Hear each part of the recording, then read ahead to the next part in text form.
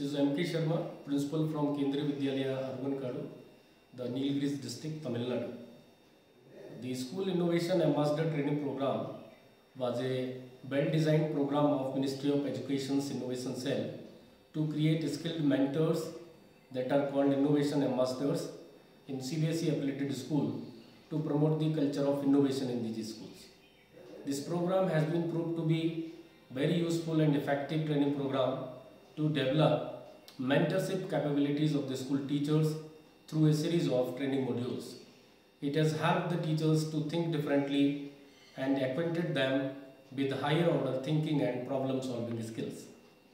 Idea and creativity plays an important role in today's education.